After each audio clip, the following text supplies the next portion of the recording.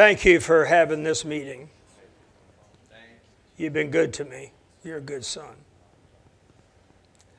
I know there's others here, and of course, I know these preachers are mine too, and I'm with them. They probably some believers with, with you, with you. I love you. You've been good to me. Uh, I'll talk to this church here just because we're in the building. Don't, if you ever were to question whether the McMichaels practice what they preach, let me set the record for you. They give, they tithe, they live what they preach. I'm a witness that they honor, they're people of honor. The devil wants to work, especially right now. If you're right now, if you're Jewish or if you're a Christian, you're on the hit list of both Satan and it seems even humans, many, many humans. And to live out your Christianity is a, is a great accomplishment. It, it, it, it actually demands a great reward. God said, I am a rewarder of those who diligently seek Him. Isn't that right? And, uh, and so I wanted to thank the church here, first of all, for being who you are. You're always standing with me, your pastor is always helping me. He serves on one of my most powerful international boards and uh, helps me that way. And you know, he's a missionary, you know that. He's a pastor, he's your pastor. And uh, I like him because he's a visionary. Oh, I'd love him either way. But I don't know if I'd like you if you were a coward and a sissy and, and afraid to do what God said. Amen. I wanted to, I wanted to, I'll just illustrate what I'm talking about. Where's my uh, stuff here? Yeah? Between the two Barclays, you're going to get it. Yeah, we'll get it. I want to show you something. This is your pastor's new book.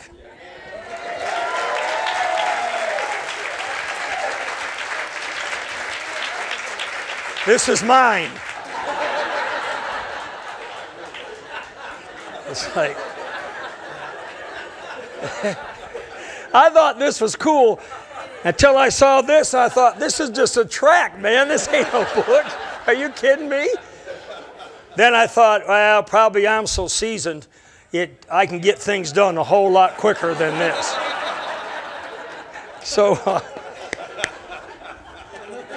show off.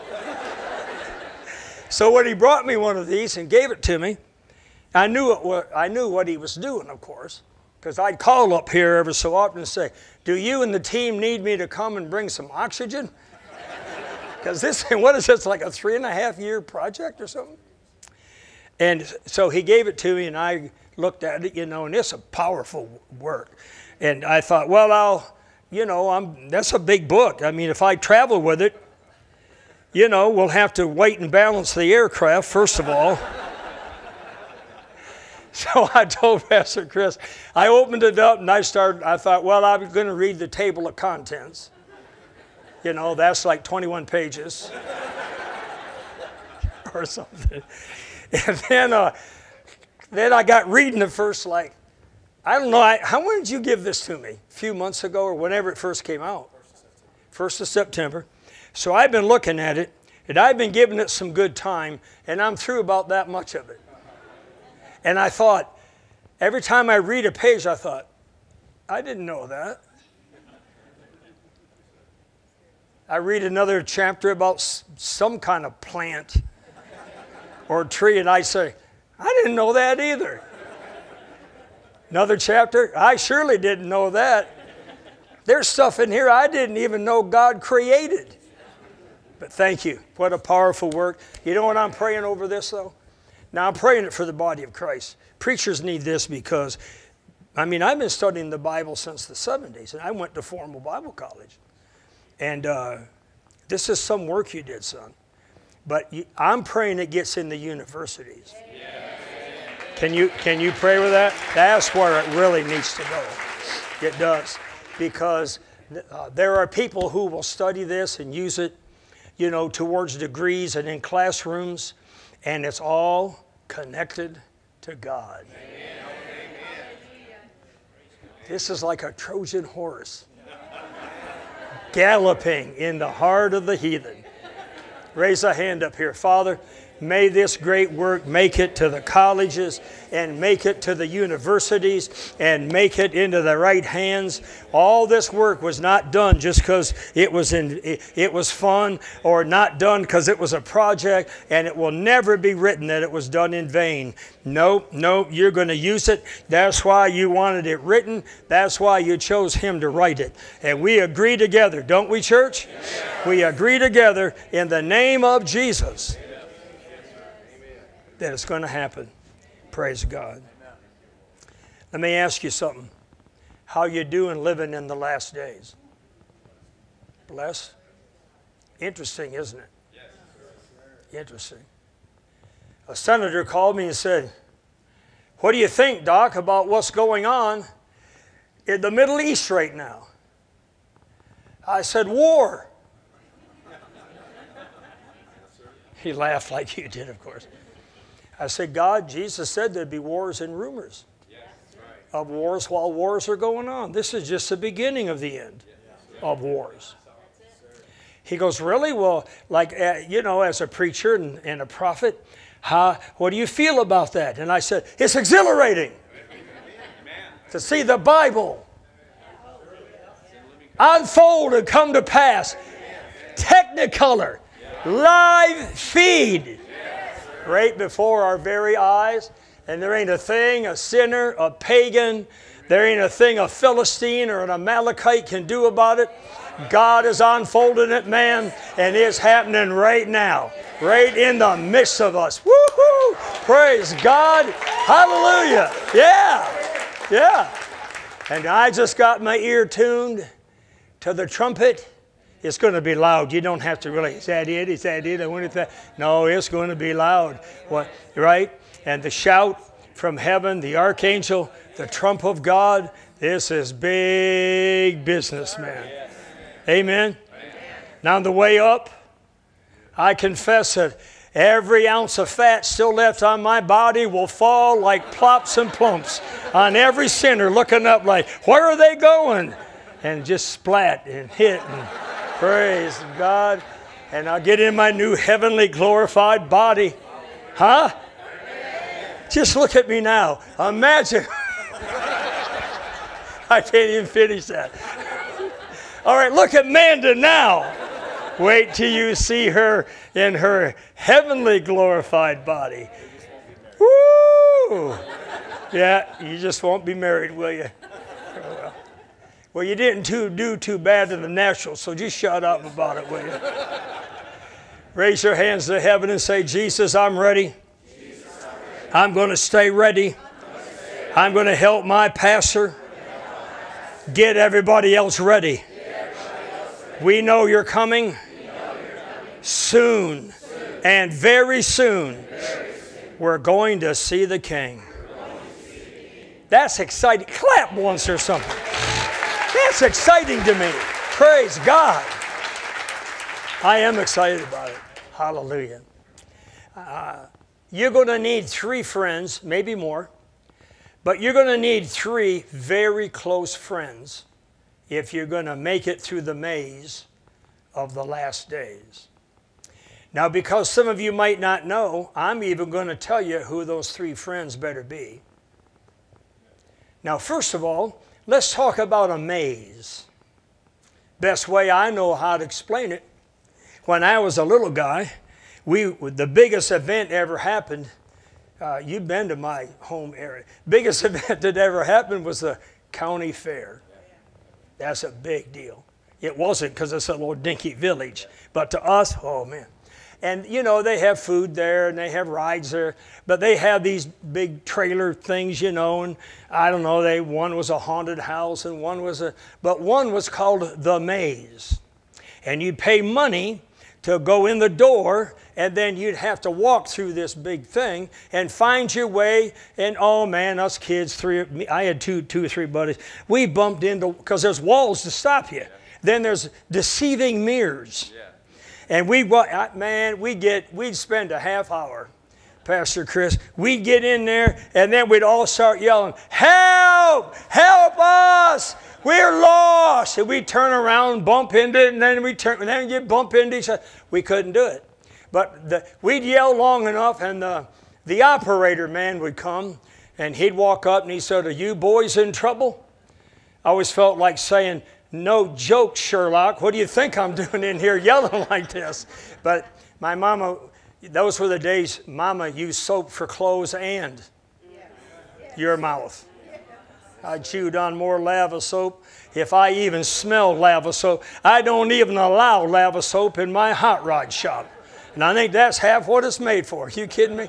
So I said, Yes, sir, we're, we can't get out of here. He goes, Oh, hook on right here, hang on to my coat, and you hang on to each other. And you know that guy, he'd walk right through and get right out that other door. He never bumped into one wall. You know why? He knew where to go. Not one, not one of those mirrors fooled him. There was a, it didn't take long. It wasn't like a mile long thing, but he'd run into those mirrors and he'd turn right into it almost. And I, as a kid, I'd almost say, "No, no, no, don't do that." We already bumped into that, and he'd walk right down the hallway. What's your point, Doc? The Holy Spirit is going to help us and walk us through the maze of the last days. Because right now, between the bad doctrine, the heresy, the dirt, the filth, the lies, the backslidden, the departure from the faith, uh, we're like living in a maze. And the Holy Spirit wants to help you and me not to keep bumping up against the wall or fall for any of this trickery of these fake like mirrors, you know, and things. And I believe that with all my heart.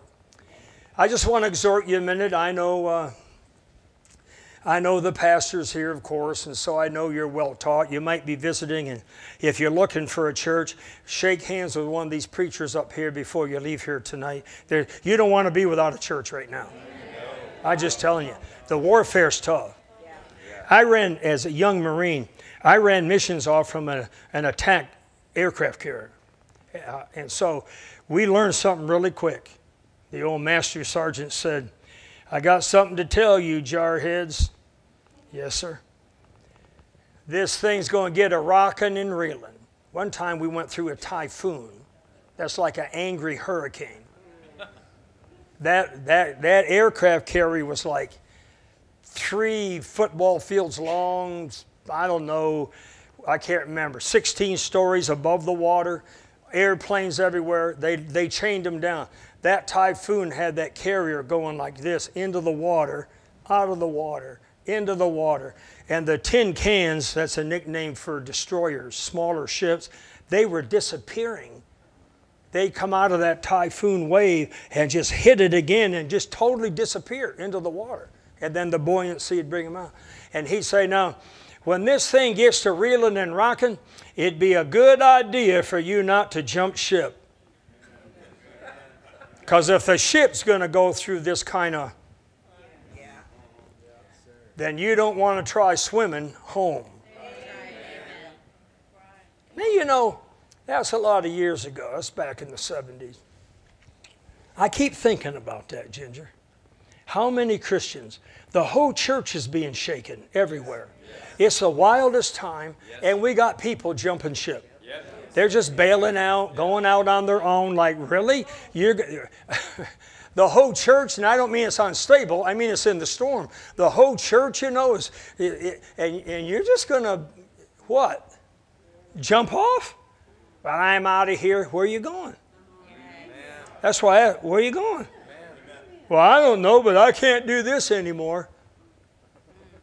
Wow. Reminds me of that. This lady went to our church, and one day after the altar, she grabbed me and she said, Now, Pastor, I just want you to know that I, I, I'm all done. I can't do this anymore. I said, Do what? what, what do are you talking about? Do what? You know what I'm talking about? You know, this Christian stuff. I love Jesus, but the warfare is so hard, I just can't do this anymore. I said, Yeah, you can. No, I can't. Yes, you can. No, I can't. Yes, you can. She got angry with me. Imagine that. a woman getting angry.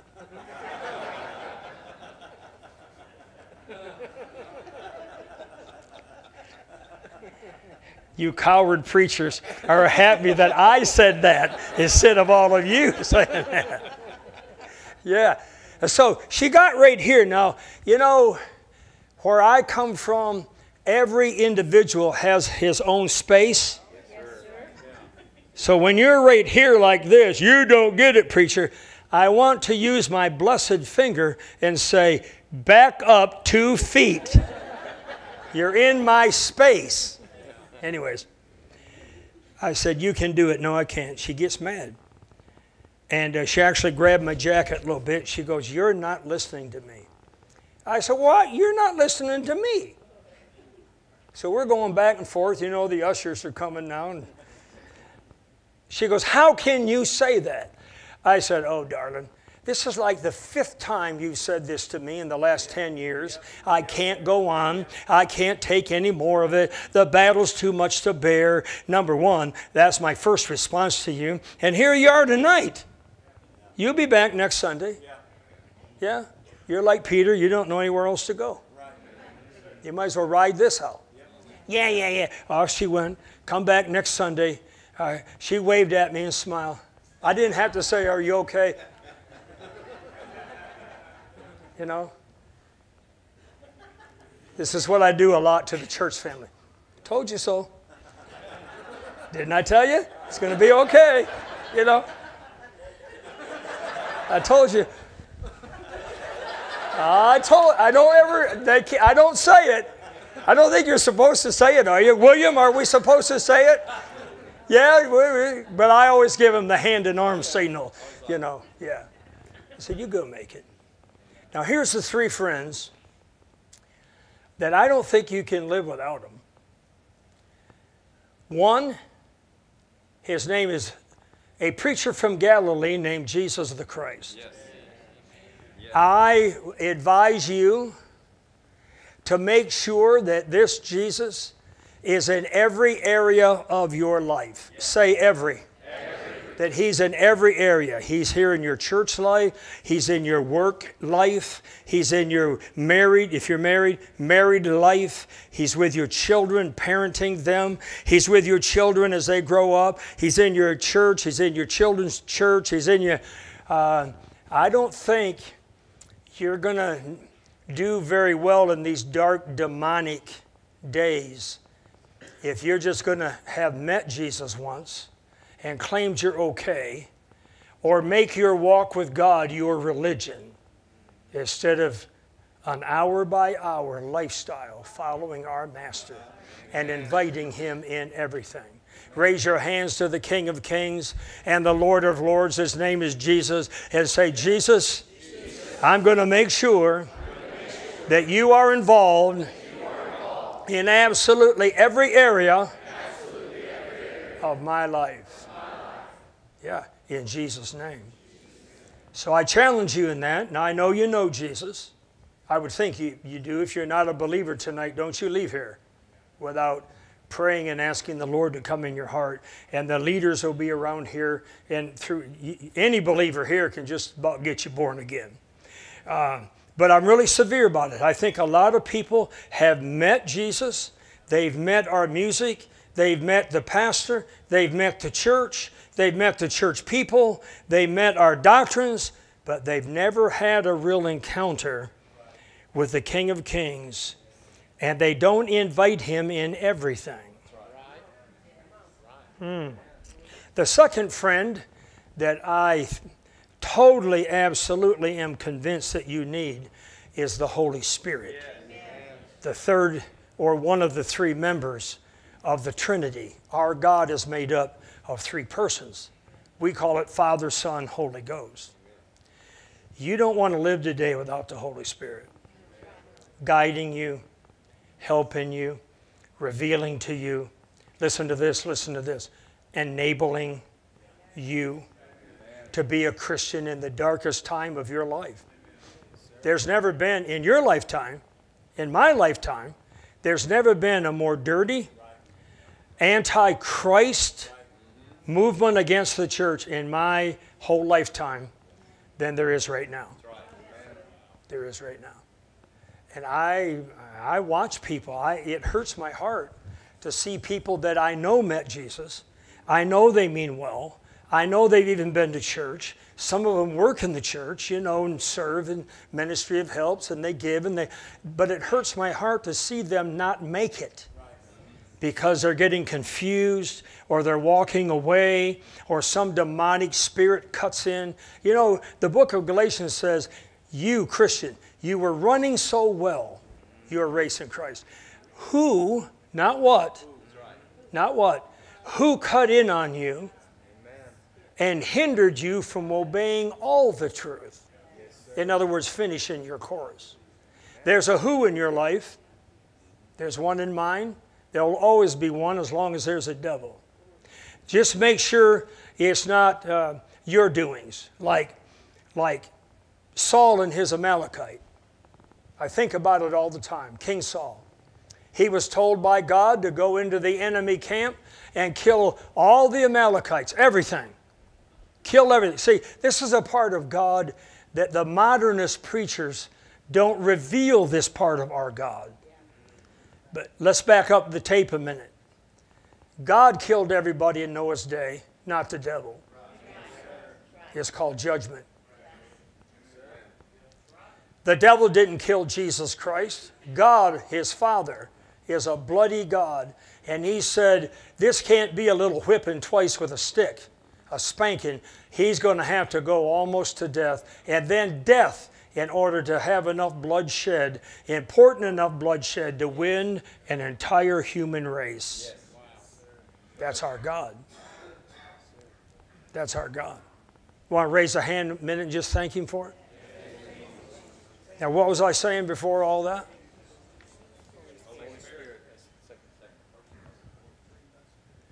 So, this great Holy Spirit wants, he wants to. Think about that. So, King Saul, why didn't he just obey God? Why can't you and I just obey God? What, what's with that? Now, I get it, I get it. I make room for it. Nobody on that end, that side of the resurrection, was born again. They had no new nature. They were living under the Adamic nature, the Adam nature, the fallen man nature. The prophets the Spirit of God would come upon them to do a task. But nobody lived with the Spirit of God living in them until, you know, Jesus died. He breathed, John 20, he breathed on those disciples. They became Christians. Later on, the same disciples and others got baptized in what we call baptized in the Holy Ghost. Are you there? Amen. Now, why didn't Saul just obey God? But he didn't. He didn't. The prophet found out about it and he come to see the king. That's how that's supposed to work. That's how it was supposed to work in America. We're a republic. We never should have been a democracy. You know, in its true meaning. A democracy means you go by popular mm-hmm. vote. A republic means you go by your documents. The more we go by what the public wants and the vote, the farther we seem to walk away from our documents. But I'm watching the same thing in the church. The more we, the more we want to go with what man wants and and and and uh, and the way they think it should be, and I'll go to your church if you change it and dim the lights and make it a nightclub and look in place, and I can wear what I want to, say what I want to, do what I want to. The more we do that, the more we'll walk away from this Bible. You ought to thank God every day for the forefathers. Because what if they would have changed back in their day? What if they would have said, no, the rules are too hard? No, that's not what modern man wants. They had, they had a modern man in their day, but they didn't. They stuck with that book, just like you're sticking with this book. So the future generation still has a hope of truth. Well, Saul disobeyed. Prophet come to see him the prophet of God, which hardly nobody likes. Even today, the prophet of God comes and says, You have disobeyed your God. The king argued with him. Yes, I have. No, you did not. Yes, I did. No, you didn't. Yes, I did, preacher. And the prophet finally had to say, then where did these Amalekite sheep come from that I'm listening to? And who is this? On his knees chained. Is this not Agag, the king of the Amalekites? You were told by God to kill everything that would cause you to be ungodly. And he didn't do it. Now, some time goes by. The preacher killed Agag. Read your Bible. He drew his sword and cut his head off. He shouldn't have had to do that. Don't make the preacher do stuff for you you should have done. I'm preaching really good right now. It took the preacher to say, No, you don't get to live, buddy. I know, if you think about it, you know, in, in, back in my psychology classes and, and philosophy classes, I know why Saul did that. When I reminisce what we were talking, he did that because he said, Well, if this was turned around and the Amalekites would have won the battle, I wouldn't have wanted him to kill me. Now, I, I'm starting to hear that more and more. Well, what if this would have been me? Uh-huh. Well, it shouldn't be you if you obey God. The preacher kills Agag. Time goes by. Before the end of Saul's life, but back at that time, the prophet rebukes the king. He gets mad. And he reaches out and he grabs the preacher and he tears his garment. And God said, I hope you get this right here. I'm about to tell you something so simple that can literally save your bacon. Okay, maybe you say it different here your butt.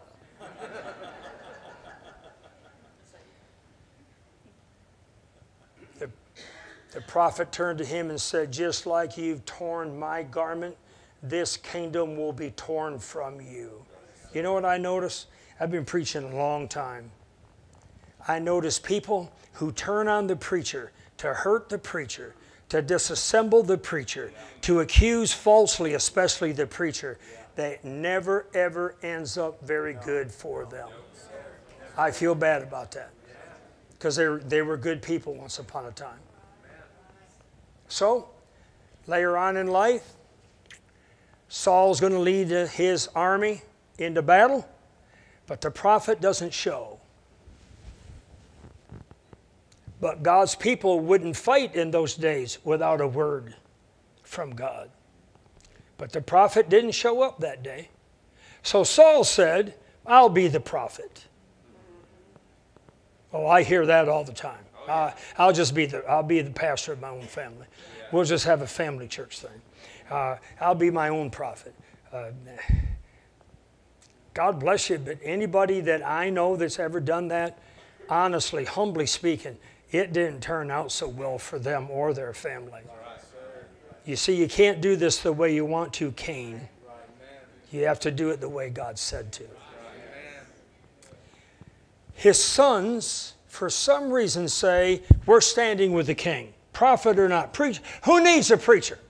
We got King Saul. We don't need no preacher. They went into battle and they all died. Saul lost everything the kingdom, his kids, his commanders, they all died. Saul was not quite dead. He turned, you know the story, it's in your Bible. He turned to his armor bearer and he said, Don't let them capture me. You know, basically, they'll torture me, they'll mock me. You know, eventually they'll cut my head off and run it through the city. That's what they did on victory parades. Kill me in. I'm dying. I'm not going to make it. Do me in. The armor bearer said, I can't do it. I won't do it. You got to do it, the king says. Please do it. And the armor bearer said, I can't touch God's anointed. Now, he wasn't God's anointed, he just used to be God's anointed. But that was taken from him. Do you know, running the tape forward for a minute, do you know the Bible says Saul died as one who had never been anointed with oil? But he was. Samuel anointed him. God told Samuel to anoint him to be king. God, you know, God said to the people, Well, if you got to have it, here he is. And God anointed him. So he was anointed, but he died as one who had never been anointed with oil. That's a bad way to die. The armor bearer says, I can't do it. You're, you're God's anointed one. I, he might have said, Hey, I was there when Samuel anointed you to be the king. I'm not doing you in. So he turned to the armor bearer on his other side and said, The same story. You got to stop him. Do me in quick. I'm dying anyhow. And he killed him. Grabbed his gears, his, his, his crown, and a couple of belongings, his king's wristband, and he ran it up to David. And he said, The king is dead, and so are all those that stood with him, including his own sons. That's why you got to be really wise even today that when, you when your family and part of your family don't want to walk with your God anymore, you better choose whether or not you're going to be in that battlefield with them. There's an old saying, you know, blood is thicker than water. And the civilians interpret that as blood meaning blood relatives and water meaning water baptism. But if you're a combat vet, you know what that means. That means you are blood brothers for life. And you didn't know that day if it was water or moisture or, or the man next to you, the blood splattered on your face.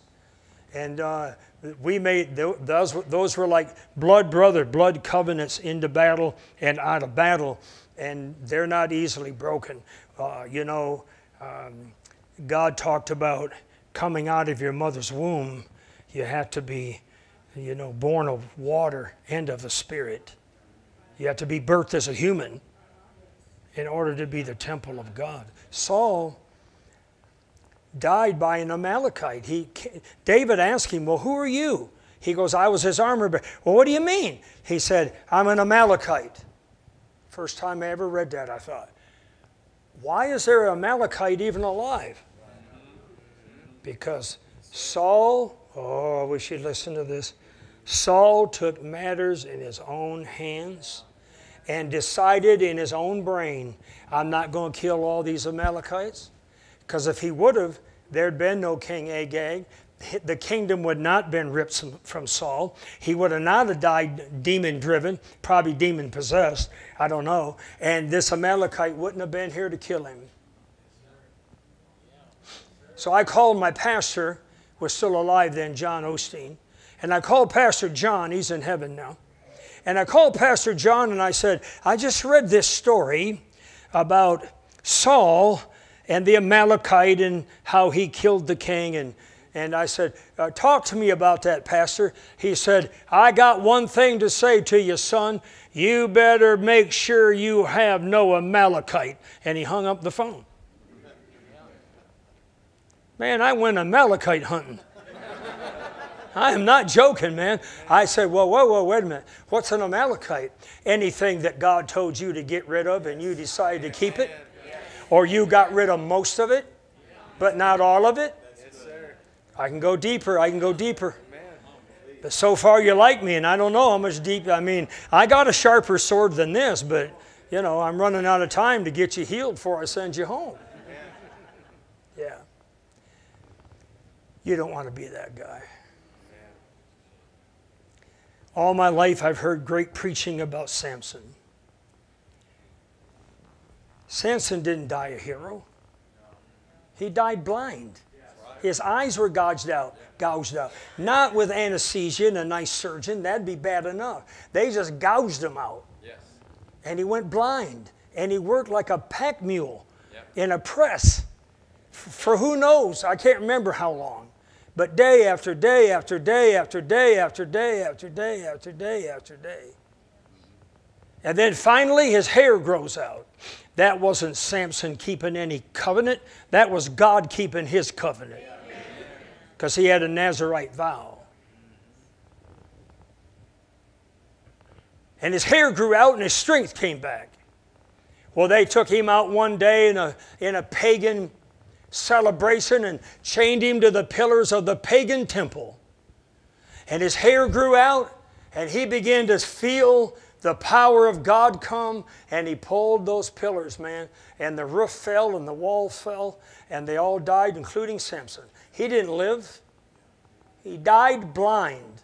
There wasn't even a lover there to hold him on his deathbed. He died in the camp of the enemy. All he would have had to do is obey his dad. It's that simple. His daddy said, do not go over there and get a girl from that tribe. Now, wait a minute, not racial. We're not talking about racial. We're talking about false gods. His daddy knew if you go to that region, they don't serve our God. You don't want to marry a girl that don't serve our God, son.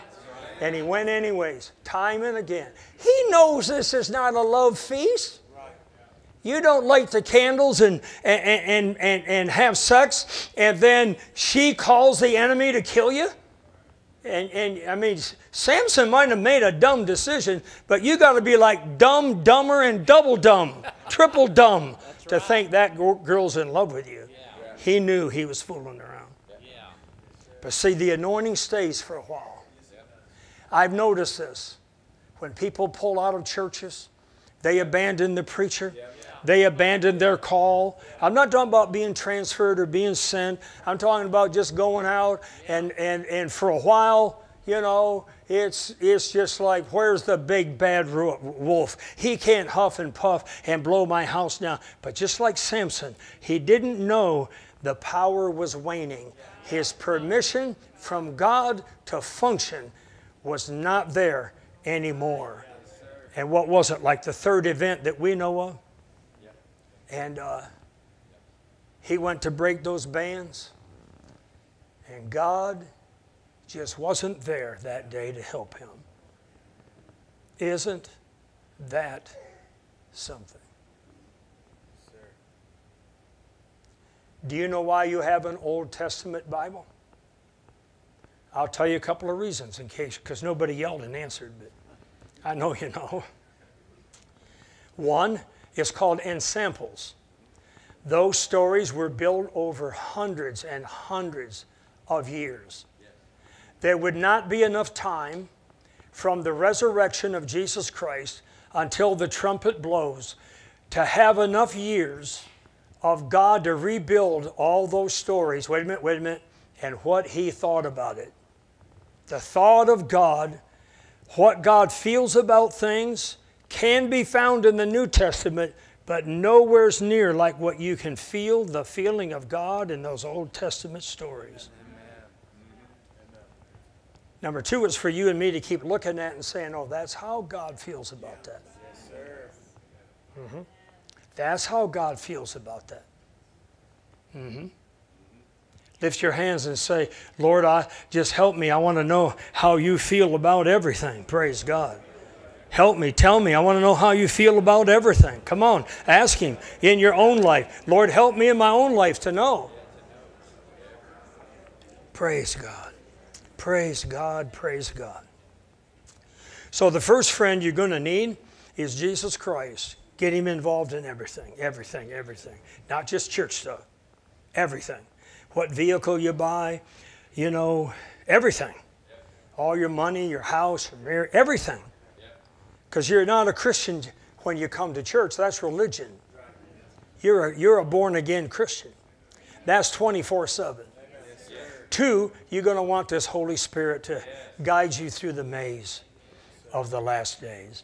We've got to have more Holy Ghost than you've ever had before. Listen in here to the Holy Spirit. And, and we'll help you. We'll help you, I promise. Because the familiar spirit, you know, he'll come as an angel of light, but he's a dingaling. He's going to make you goofy. He wants to make you goofy. Believe goofy stuff, say goofy, prophesy goofy stuff. Don't get me started on that. I think I will for just a minute. No one, no one kind of cheered me on, but I felt it in my own heart.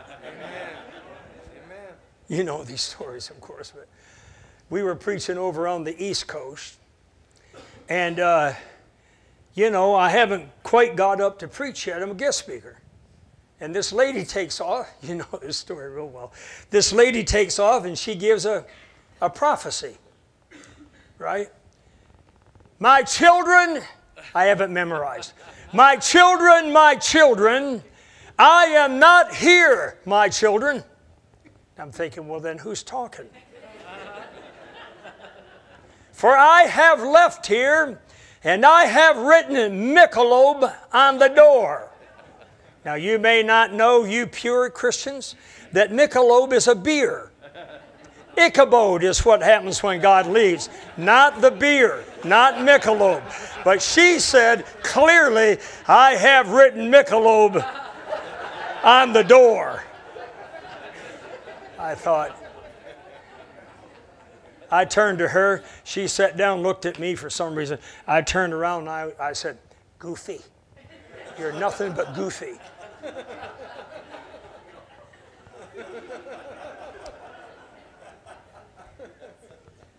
God.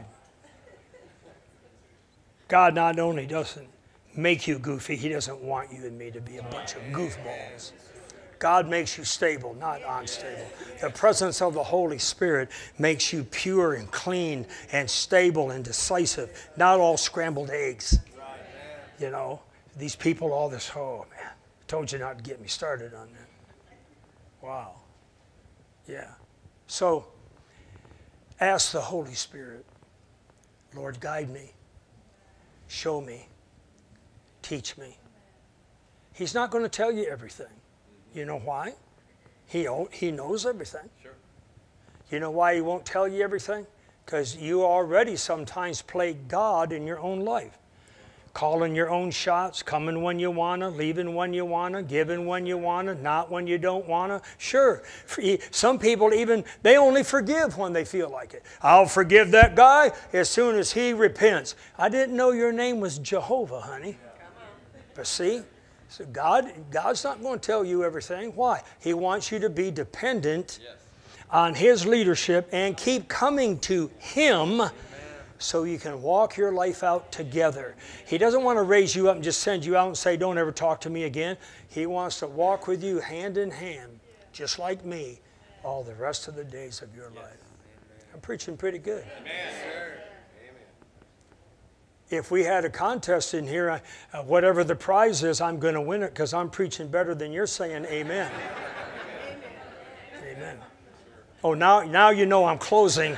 Now, now we're getting really activated here, aren't we? Yeah. It's got to be your church, Pastor. Look, I don't know. Is it? Have you taught? You have anybody here with you at all? How many of you came with with the with them? Oh yeah. How about some amens from over there? Oh, they've been saying amen all along. Well, it ain't your church. you say they better?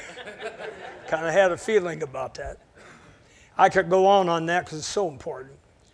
But let me go to the third friend you better have. I'm serious. I'm dead serious.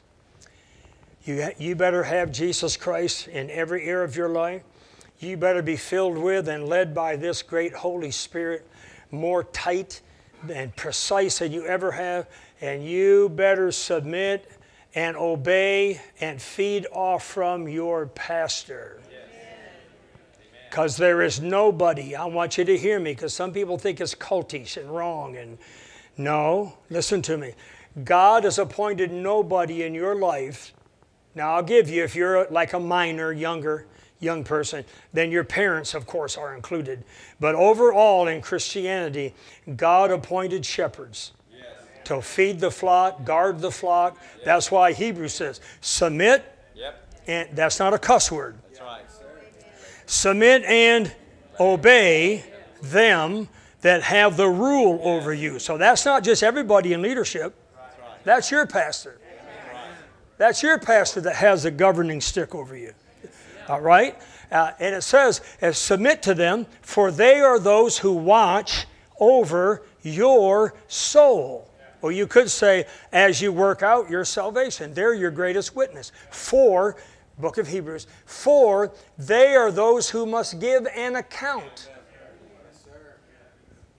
Then it says, do not make this a grief. You're staring at me. Do I got to read it to you? You know them. No, no. This uh, the Bible, New Testament. Oh, you don't want to make it a grief. Do let me let me modernize it. Do not be a grief to him.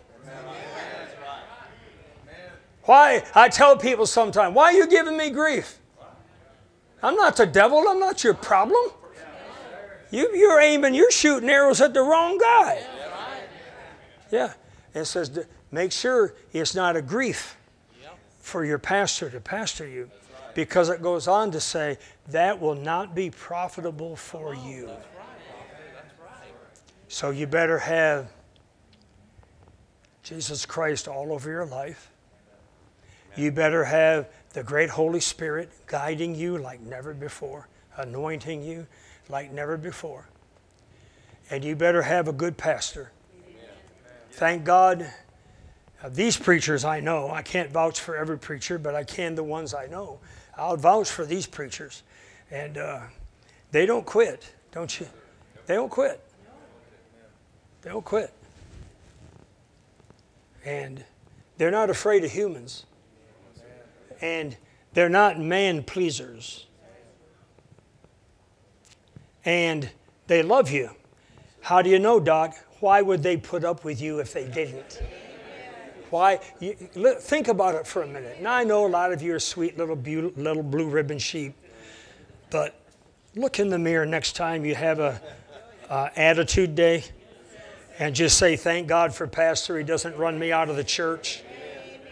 Next time you bring your crud in here on a church service, and it doesn't make it to the altar, if it makes it to the altar, we're glad. Come in ugly, leave pretty. But just coming ugly and an attitude and, and, and, stirring up things, and then you leave that way, you know we love you, or we wouldn't let you back in next service. One time a lady told me, she said, uh, You know, there's just no, hardly any love. How'd she say it? Uh, there's hardly any love in this church. I said, Oh, darling. Oh, my, my, my, my. Do you know how much love is exercised just to put up with you? I was serious. She was a brat. There are church brats. Trying not to look around. Actually, I'm looking at everybody right now. I don't know why, there goes my offering again. What can I say? I said, honey, you know how much love it takes to keep you in this church? You're not, you're not easy, doll. You're mouthy, you're sassy, you have attitudes. I mean, you know, every time we want to do something, you're bucking the system. You got something to say about it, and, and then you then when you say I'm in support, then someone tells me you posted some dingaling dumb thing on kindergarten Facebook. I should say D Facebook. And uh, it takes a lot of love to keep you, honey. So don't ever say again, there's no love here. There's plenty of love here. Amen. See, that's a lie of the devil. Well, you know, uh, Pastor looked right at me during that really tough part of the sermon. I had people tell me that before. I said, listen, I want to help you. I love you. Stop flattering yourself. You're not that important, honey. I didn't stay up all night to make a message just for you. I'm sorry that that really busts your bubble, but I come to feed the whole flock. So, no, no, it wasn't all made up just to go after you, right? But sometimes I feel like saying, Of course I was staring at you. I'm a skillful communicator. Yeah, there goes the rest of my offering. it's good. It's good thing I got enough. Good thing I got enough gas to get home. Praise God. Oh, so listen. I will close, but listen. Don't let uh, don't let anybody or anything mess you up between you and your preacher. That's right. Don't do it. It's not worth it. We listen. We know we're not perfect. There are no perfect humans. We know that. You know what else we know? We know when we shoot a dud. You know what dud is? A big bang, regular bullet, lot of powder, uh, uh, but no projectile. Bang! Falls right there. You don't have to come up and tell us we didn't do good. We know that before we close our Bible. There's been times I've closed my Bible and, and wanted to say, This ain't coming out good, folks. I'll see you next Sunday. We don't need you to be the, the, the notifier. Huh? Why do I always start really preaching good right when I'm out of time? I don't know. Some of you are ducking. You know, there are church duckers. Yes, they are. I've been watching some of you tonight. I swing, you know, and you go, Try again, preacher. You didn't get me this time. Praise God. Father, bless us to serve you. We need friends. We're going to need our, if we're married, we're going to need the friendship of our husband and wife. And our kids are going to need their parents. And we're going to need a David and a Jonathan. And so the list goes on. But I believe, I really believe, Lord, the three most important friends anybody can have is you, Jesus, all through their life the great guidance and anointing of the Holy Spirit, and a pastor that's not afraid of me. He loves me. They love me. She loves me. They're not afraid of me. They're not a man pleaser. And even at the risk of losing me or me throwing a tantrum or getting offended, they're still going to tell me the truth. Lord, I don't think we need to pray for you. Holy Spirit, I don't think we need to pray for you, but I think we ought to close praying for all good pastors everywhere. Lord, I thank you. Uh, I pastored all these years, Master. I don't know why anybody would volunteer for this job. I don't know why we, we just keep going because we're called. But there's beautiful Christians, and we love every one of them. We even love the brats, but Lord, they make our job hard. And I pray for Pastor in the name of Jesus. Thank you, Lord. They have backbone, and they have courage, they have truth, they have anointing, and they love us. They absolutely put up with us. And they'll pick us back up again. And I thank you. Bless them in Jesus' name. Now, one last thing. If you're the head of your household, now, according to the Bible, New Testament, if you're married, biblically, the husband is a male and the wife is a female. This is God's way. And you have holy matrimony. But the man, the husband, according to the New Testament, is supposed to be the head of that household. Why? Because he's the one that's going to have to give the greatest account. Therefore, he bears the most responsibility. Therefore, he, he uh, has the power of choice and, and answer for it later. I've, uh, I've been married uh, 53 years, and uh, I tell Vicki all the time, I, I've watched you all our life. I met her at 13. I've watched you all our life when we dated, when we got married, my time at the, in the war, you know, all of these years in ministry. I've learned something. I tell her this. I've learned something, Vicki. It takes more courage and more character to follow than it does to lead. Now, it, it isn't always leading. That's so easy. Now, there's some men, they're tormented by a rebellious wife. They're tormented by a worldly, you know, a woman in their life. So it isn't always easy to raise kids and be responsible to make the decision but it is our duty. It is God's way. But sometimes through death, maybe you're a widow, that would make you, lady friend, the head of your household under Christ. Maybe you've been divorced or ditched. Uh, maybe it wasn't death, but you're still, maybe you never, maybe you're a single. Uh, maybe you've never been married yet. There's different things that cause this. So here's what I'm going to do before I sit down. God told me today to pray over all of the heads of households. So that would be all you men who are married, single, father, or not.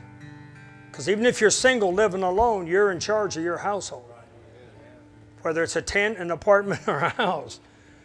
And then all of you ladies, not, not, not because you want to be, not because your husband isn't, but because you've inherited this head of the household place, You all stand up, heads of households. Father, I pray right now, just like you're instructing me, I pray that we will put our foot down.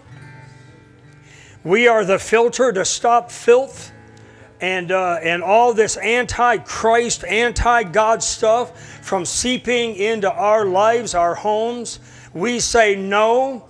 And we even got to monitor now television, computers, watches, you know, telephones, cell phones, and everything else that opens a window to the whole world. That we are governing our household and keeping out all the demons and all of Satan. I thank you, Lord. Bless us with money to take care of our household and our families. And bless us with the greatest anointing we've ever known.